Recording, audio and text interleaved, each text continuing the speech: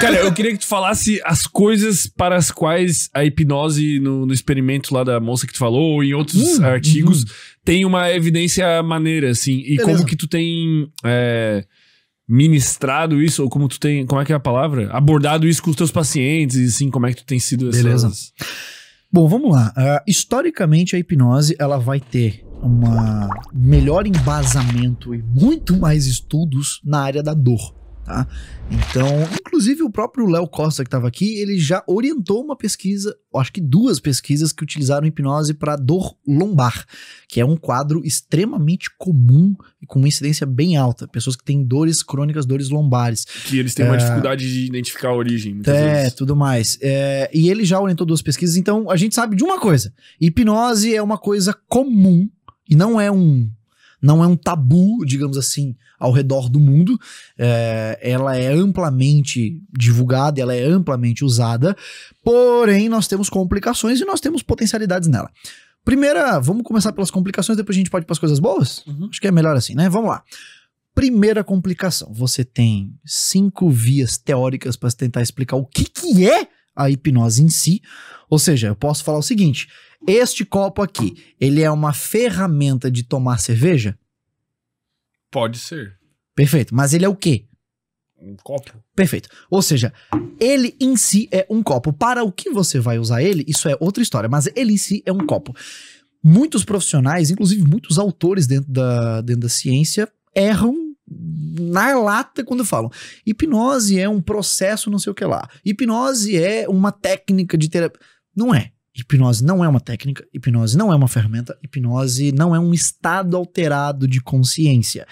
Ou seja, transe hipnótico, o estado hipnótico não existe.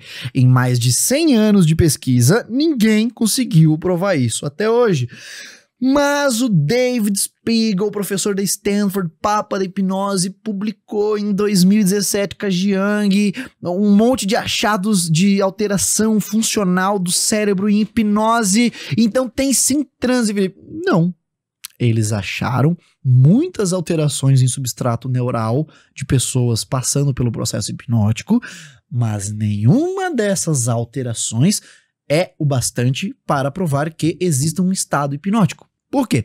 Para isso, Irving Kirsch classifica, Irving Kirsch é um professor da Harvard, ele classifica que existem alguns estágios para você provar que hipnose é um estado alterado de consciência, tá? Tá. Primeiro passo, eu tenho que encontrar alterações a nível de substrato neural que elas sejam específicas da hipnose. Porque senão eu não tenho como dizer que aquilo é hipnose, perfeito? Ou seja, eu vi que houve uma atividade aqui no meu cérebro. Então, isso daqui é o estado é, lambisgoia. Perfeito. Então, o estado lambisgoia, ele depende ativamente de uma alteração funcional aqui. Pô, mas eu medi o cérebro de uma pessoa andando de bicicleta, de uma pessoa jogando futebol, de uma pessoa comendo hambúrguer, de uma pessoa vendo pornografia, e todas elas tinham uma alteração aqui. Todas elas estavam em estado lambisgoia? Não. Tá, mas isso também não exclui totalmente a possibilidade. Tá. É, então, perfeito. Primeiro, não, na verdade, só pra dizer, se eu não consigo encontrar exatamente uma alteração, ou seja, uma característica que seja exclusiva da hipnose, eu não tenho como dizer que aquilo é um estado hipnótico, ou seja, que aquilo é a hipnose. Eu não tenho como. Tá. Por quê? Porque se outras coisas que não são hipnose, não são classificadas como hipnose, geram a mesma alteração, Mas existem outras coisas, tipo, equivalentes ao que seria um estado hipnótico, que são estados mentais classificados? é, entende o que eu quero dizer? Vamos lá, é que quando a gente fala em estado Tipo, sei lá, o cara tá Mental. em estado letárgico, sei lá, o cara tá em estado. Sim, blá, blá, blá. perfeito. Então, Existem outros Sim, estados? isso daí é quando você vai fazer, literalmente, quando um paciente, sei lá, chega num pronto-socorro, chega numa clínica de psicologia de um posto de saúde e tal, você faz um exame de estado mental. Tá. Porque dependendo do estado mental da pessoa, é um indício de que ela vai entrar em coma, por mas, exemplo. mas existe algum outro estado mental quando a pessoa está bem? Ou não? Não, ela tá em vigília. Ela tá acordada. Tipo, mas não, não- Então, isso já seria um bom argumento pra dizer que não existe esse estado. Não, não é o esse não é o argumento. O argumento é Não, mas tu entendeu a minha pergunta? Não, eu- eu não entendi, existe, tipo, entendi, não existe um, entendi. Não existe um outro estado Tipo, se a pessoa tá normal, não existe um É que, estado é, que, assim, mental. é que quando a gente tá falando de estado, esse é um problema, esse é um outro tipo, problema por exemplo, uma também. pessoa sobre o uso de substância tá em outro estado mental. Perfeito, ela está tendo uma alteração da consciência dela. Tudo Tá. bem? Ou seja, ela está, sim, tendo ah, uma, uma interação ali no estado mental dela. Perfeito? O nível de consciência dela está alterado. Se eu falo. E eu consigo constatar isso. Eu consigo averiguar. Eu consigo replicar isso. Por os cinco fatores, provavelmente, lá. Que tu... Eu, eu, eu posso pegar a mesma droga, dar pra mais 100 pessoas e constatar que, olha só, todas elas passam, ou 90% delas passam por essa mesma alteração. Perfeito. Encontrei, então, quais são os correlatos neurais do chapado. Beleza? Perfeito. Então eu sei que quando a pessoa está com atividade cerebral daquela forma, é porque aquilo está acontecendo. Show? Só que eu consigo encontrar vários dos correlatos neurais da hipnose em pessoas só meditando, em pessoas só relaxando, em pessoas em experiências de quase morte e também na própria eh, eh, variação da atividade cotidiana do cérebro. Então, o primeiro passo para eu saber que hipnose é um estado alterado de consciência, que é definir, pegar ele em si, eh, a gente não tem. A gente não tem evidências de, um, de alterações a nível de substrato neural que sejam específicas da hipnose. Não tem, tá? Tá. Mas vamos supor que nós temos. Pra poder Pode ser que seguir. tenha, o- a gente não conseguiu encontrar. E, ó. Teoricamente, sim, a gente não pode afirmar uma negativa na ciência, é muito complicado filosoficamente falar isso, mas dificilmente Tá, se irá, entendi. tá? Então lembra aquela parada de nível de qualidade de evidência? Tipo assim, dificilmente vão encontrar um que seja só da hipnose, mas tem gente tentando até hoje. Agora vamos lá. Vamos supor que a gente já tenha achado, vamos para a segunda etapa ah, do filtro de coisas que precisam acontecer, dos estágios, para que a gente possa provar a existência da hipnose sendo um estado Estou de consciência. acompanhando. Perfeito. O segundo estágio seria: essa alteração ela é causalmente responsável pela sua capacidade de responder à hipnose. Não entendi. Perfeito. Vamos lá. É, você é uma criança e sua mãe diz que você não pode comer bala antes do almoço porque senão Deus castiga. Tá acompanhando? Uhum. Só que ela nunca te disse como Deus castiga. Ela só disse que Deus vai se castigar, Papai do Céu vai castigar se você comer bala antes do almoço. De repente, por acaso, é 11 de setembro, você é uma criança levada, come balas e dois prédios caem na TV, você tá vendo ali e você pensa: Meu Deus, me perdoa, por que eu comi essa bala? Deus, eu não queria. Por que, por que Deus? Eu, meu Deus, os prédios caíram, a culpa é minha. Comer sete belo derruba prédio? Não. Perfeito. Mas existe uma correlação aqui. Olha, olha o tempo. Comi, prédio caiu. Pum! Mas na lata. Existe uma correlação de tempo.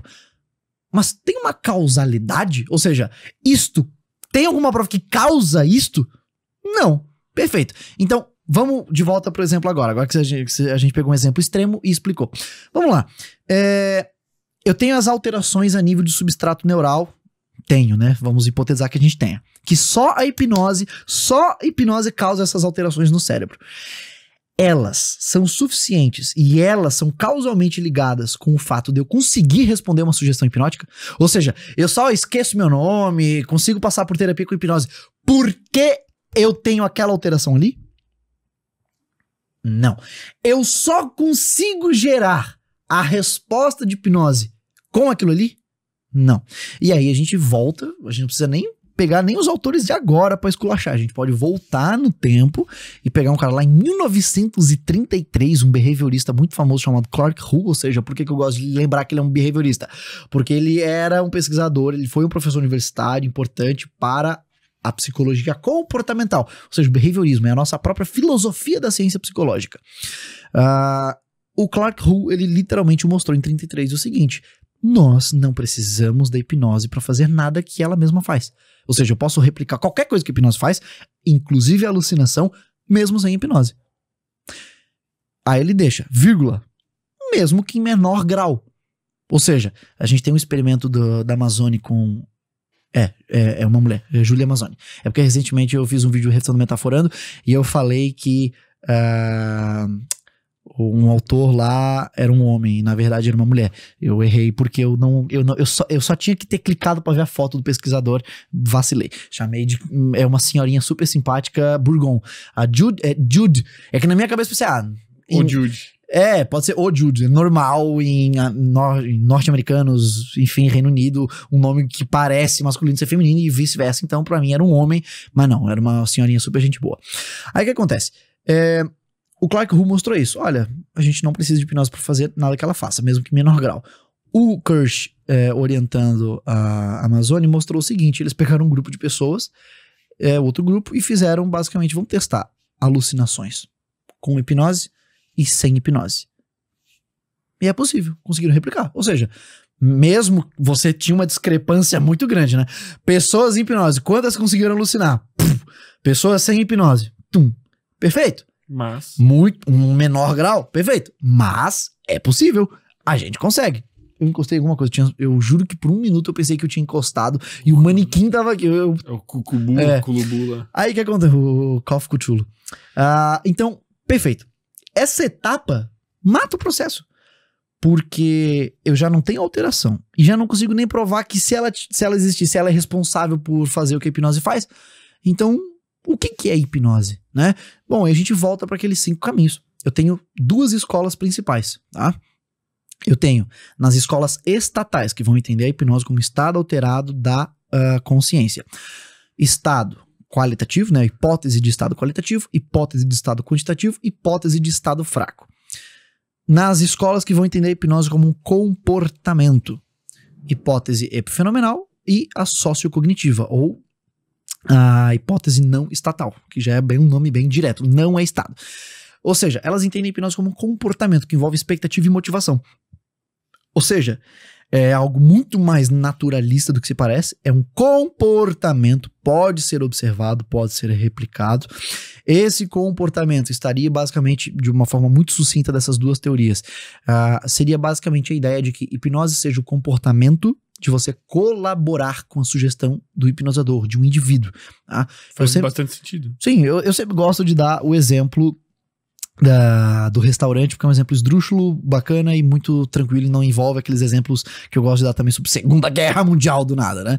É, você vai num restaurante comigo, você tá aí todo no, no momento fitness da vida e fala, Felipe, cara, tu tem que tomar o suco daqui, velho. O suco daqui é muito bom, é um suco detox, e também não tem evidência. É, e aí eu falo, irmão, a cerveja daqui é diferenciada. Tá vendo essas tubulações no teto aqui, velho? Quando eles clicam no botão lá, quando você, levanta a mão, ele sabe que é cerveja. Desce um cano na tua mesa e esguicha uma cerveja perfeita no teu copo. Cara, você saiu de casa pensando, mano, minha, eu quero manter minha dieta, vou sair com o Felipe, vou comer e tal, vou tomar um suquinho, beleza? Daqui a pouco, através da comunicação, eu, eu afeto a sua realidade subjetiva e você comportamentalmente muda. Perfeito. Você segue uma sugestão. Você ficou motivado a colaborar com ela. Ah, em certo grau, eu posso dizer que nessa comunicação existe hipnose. Uma espécie de manipulação. Não, porra. Manipulação envolve diretamente ganho próprio. Tá. Eu não ganho, eu não sou Por isso que eu falei uma representante. espécie. É, eu não ganho representação em comissão porque eu convenci alguém a tomar cerveja comigo no bar. Na verdade, é, é bem é, prazeroso fazer pessoas concordar com a sua ideia. Então tu tá ganhando algo de certa forma. Perfeito, mas percebe que isso passa a não ser nem consciente a nível da pessoa. Tipo assim, ela não tá manipulando porque ela não tá consciente. Ou seja, Mas é, inconscientemente as pessoas fazem isso o tempo todo, pô. Todo mundo tenta Perfeito. manipular todo mundo a concordar com as próprias ideias. Mas tu tá fazendo aí- isso agora e eu é, tô fazendo isso agora. Só que aí, então, entenda o seguinte: é, aí é muito mais um reforçador de comportamento do que uma manipulação. Porque senão eu poderia simplesmente acusar uma pessoa que teve, por exemplo, uma fala racista de racismo. Por exemplo, o cara não tem a menor instrução, é um tiozão lá da puta que pariu, cre- catou repolho a vida inteira, foi criado de uma forma super preconceituosa, aprendeu e aquilo ali é o certo pra ele. É, muitas das coisas que ele pode vir a falar podem ser pra nós preconceito. Ele não tem essa intencionalidade, ele muitas das vezes não, não tem o menor, sei lá, ele não enxerga nenhuma pessoa de outra etnia de uma forma inferior, pra ele é igual, igual, todo mundo é junto. Só que uma piada ou coisa que ele faça pode ter caráter Tá, mas você racista. tá dando um exemplo extremo. Não, eu tô, eu tô tentando explicar essa linha de raciocínio pra você entender a diferença entre consciência e um comportamento só reforçado. É, ele não foi racista, ele não pensou, cara, eu quero que esta pessoa da etnia tal sinta-se inferior. Uhum. Perfeito? Ele fez uma piada. Alguém pode olhar pra ele e falar: irmão, por que, que você fez essa piada? Tipo, pô, ofendeu o cara. E tu pode fazer toda uma análise funcional do comportamento e ver que, pô, ele cresceu num ambiente onde essa piada é reforçada, onde ele, quando ele faz essa piada, as pessoas riem e ficam com ele. Logo, ele repete essa piada, ele replica essa piada, porque, em tese, ao longo do histórico de vida dele, quando ele faz esse tipo de piada babaca, as pessoas ficam perto dele e ele tem uma sociabilidade. Perfeito? Uhum. Entendeu como isso foi um comportamento? Ele manipulou as pessoas a ficar próximas a ele porque elas gostam de piadas escrotas? Não, ele não pensou nisso. É literalmente uma, um estímulo e resposta. Ele não parou pra pensar, hum, quando eu faço piadas, as pessoas gostam. Ele só fez. Sim, sim, eu entendo Agora, o que quer dizer. Quando ele, por exemplo, é, chega num lugar, num banco, numa fila de banco, tem uma pessoa de outra etnia, ele fala, escuta aqui o seu pi. Opa, ah, beleza. Ele está sendo racista. E ele conscientemente está fazendo isso. Quando eu chego pra você e falo o seguinte, cara, toma essa cerveja e tal, não sei o quê. E no final das contas eu quero só que tu fique bebaço pra tu me passar uma informação. Isso é uma manipulação. Eu te manipulei, você bebeu, eu tive algo em troca. Eu tive uma conscienci- conscienciosidade nessa minha atitude. Eu só querer que. Eu só querer ter um momento de tomar cerveja com os amigos. Às vezes pode ser até porque, sei lá, porque eu tô deprimido e tô Ah, mas- isolado. mas o, o termo que eu usei, uma espécie de manipulação. Sim, perfeito. Uma tá espécie de aceitável. manipulação. Perfeito, claro. Tá aceitável. Mas é só para as pessoas entenderem que não, hipnose não é manipulação. Manipulação existe alguns conceitos para ser caracterizado dessa forma.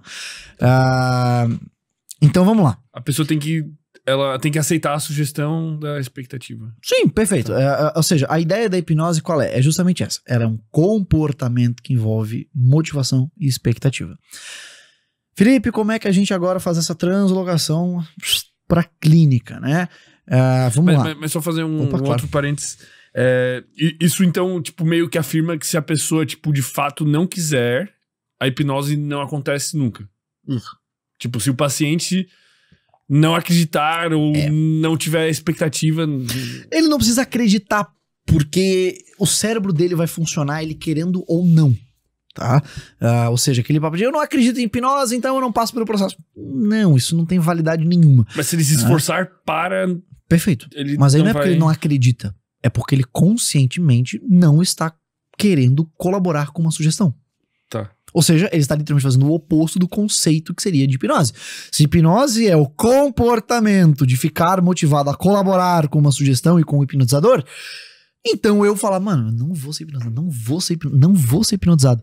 Sim, você tá certo, gênio.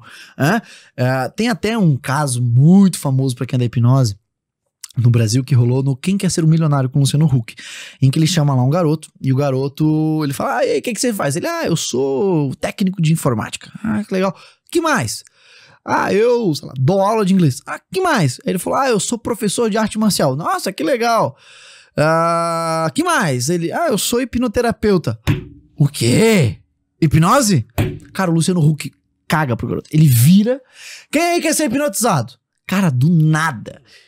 Aí, se tu vê, se tu pausa, né, e tu passa devagarzinho, tu vê que tem um cara na plateia, mano, um cara grande, muito grande.